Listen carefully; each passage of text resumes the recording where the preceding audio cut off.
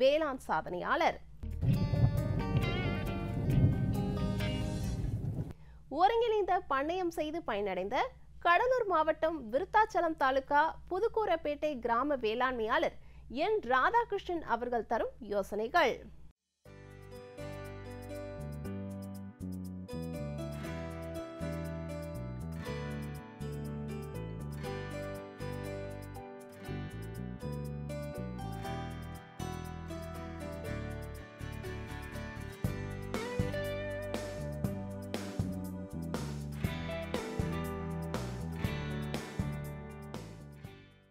KVK Virudhachalam மூலமாக நபார்டு வங்கி உதவியுடன் ஒருங்கிணைந்த மீன் பண்ணை அமைத்து வந்திருக்கிறார்கள் இத்திட்டத்தின் மூலமாக மீன் வளர்ப்பு மற்றும் ஆடு கோழி போன்றவற்றை நாங்கள் இங்கே வளர்த்து வருகிறோம். ஒருங்கிணைந்த பண்ணையின் மூலமாக கோழி வளர்ப்பும் இது நடைமுறைப்படுத்தப்படுகிறது. மீன் வளர்ப்பில் கலப்பின மீன்கள் ரோகு கட்லா மிருகால் புல்கெண்டை போன்ற மீன் கலப்பின மீன்களை இதில் விடப்பட்டிருக்கிறது. எங்கள் பண்ணை வந்து கால் ஏக்கர் அளவில் அமை அமைக்கப்பட்டு மீன் குஞ்சுகள் விடப்பட்டு ஒரு ஈல்டு எடுக்கப்பட்டு விட்டது.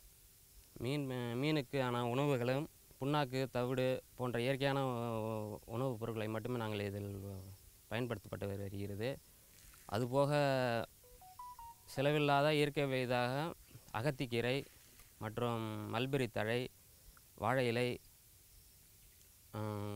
கம்பு நேபியர் அஞ்சு அஞ்சி போன்ற தீவன பயிர்களை நாங்கள் இதுக்கு உணவாக கொடுத்து கொண்டு வந்துட்டுருக்கிறோம். தினமும் காலை ஒரு வேளை அசோலாவை உணவாக நாங்கள் கொடுத்து வந்து கொண்டு இருக்கிறோம் அசோலாவின் தாய் தாய் வித்துக்களை நாங்கள் மீன் ஆடு மாடு கோழி போன்றவற்றுக்கு உணவாக கொடுக்கும் மட் கொடுக்கும் பட்சத்திலும் விவசாயத்திலும் ஒரு ஏக்கருக்கு நூறு கிலோ என்ற விதத்தில் பசுந்தாள் உரத்தை நாங்கள் அதுக்கு அறிமுகப்படுத்தி உழவு செய்து நாங்கள் நெல்களை வயல்களில் நாங்கள் உழவு செய்து கொண்டு வந்துட்டு வந்து கொண்டிருக்கிறோம்.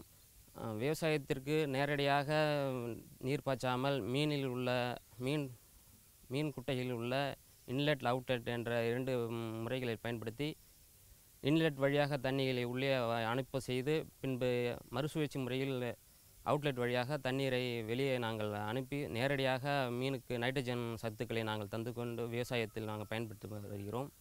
இதன் மூலமாக உணவுப் பொருட்களில் எந்த ஒரு பாதிப்பு இயற்கை இதில் பாதிப்பு ஏற்பட்டா ஏற்பட ஏற்படாமல் இருக்க பப்பாளி இலை வாழை இலை கம்பு நபியர் ஐந்து என்ற தீவன பயிர்களையும் நாங்கள் அதுக்கு உணவாக இருவேளையிலும் கொடுத்து வந்து கொண்டிருக்கிறோம்.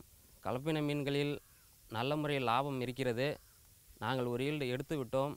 மறாவது ரெண்டாவது ஈல்டு இப்போது சிறப்பான முறையில் எங்களுக்கு நாங்கள் பயன்படுத்து வந் பயன்படுத்த பயன்படுத்தப்படுகிறது.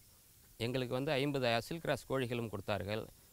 ஐம்பது மு ஐம்பது கோழிகளில் எங்களுக்கு தினம்தோறும் இருபது முட்டைகள் எங்களுக்கு முட்டை பெறப்பட்டு வருகிறது. இருபது முட்டை ஒரு- கணக்குக்கு பதினஞ்சு ரூபானா முந்நூறு ரூபாய் ஒரு விவசாயிகளுக்கு எந்த ஒரு செலவும் இல்லாமல் முட்டைகள் வந்து ஒரு முந்நூறு ரூபாய்க்கு எங்களுக்கு முட்டை தினந்தோறும் ஒரு நாள் முழுவதும் எங்களுக்கு முந்நூறு ரூபாய் எந்த செலவும் இல்லாத முட்டை கிடைக்கப்படுகிறது. பின்பு இரண்டு ஆடுகள் கொடுத்துருக்கிறார்கள். இதில் ஆடுகள் வந்து மண்புழு மேலாண்மைக்கும் மண்புழு மக்கு உரத்திற்கும் நாங்கள் இது பயன்படுத்தப்படுகிறது.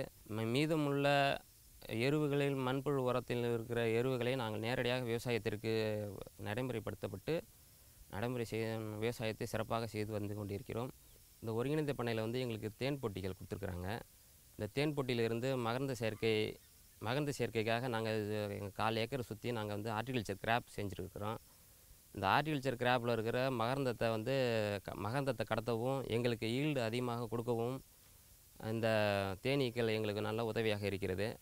அது மட்டும் இல்லாமல் எங்களுக்கு தேன் வந்து எங்களுக்கு இதுவரையும் எடுத்ததில் வந்து நாலு லிட்டர் அஞ்சு லிட்டர் தேன் எடுத்துகிட்ருக்குறோம் இருக்கிறோம்.